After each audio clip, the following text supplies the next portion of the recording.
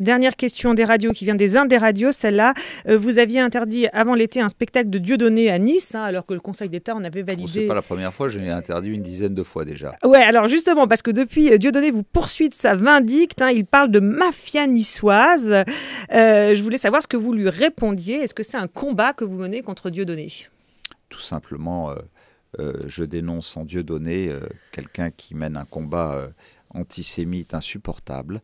Euh, et qu'aujourd'hui, euh, là où euh, j'ai des liens avec toutes les communautés, je suis président d'Alpes-Maritimes Fraternité dans lesquelles se réunissent à la fois les représentants de toutes les églises chrétiennes, du judaïsme et des musulmans, qui se reconnaissent dans les lois de la République pour que nous puissions euh, garantir la paix sociale chaque fois qu'il y a des menaces.